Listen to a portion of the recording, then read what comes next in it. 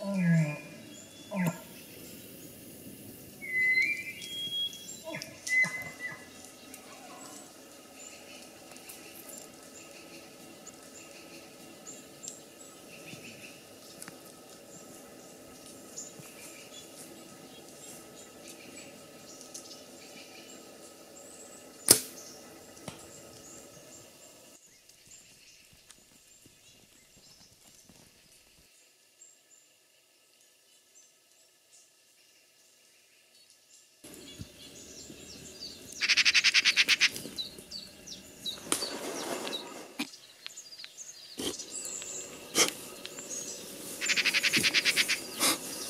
we got a hell of a.